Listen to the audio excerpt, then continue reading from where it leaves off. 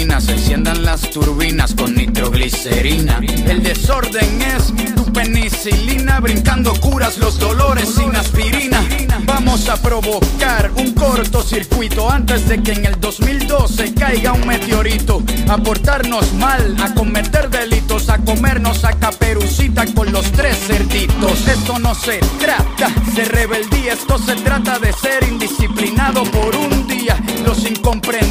del Nuevo Testamento. Tenemos nuestras reglas, nuestros propios mandamientos.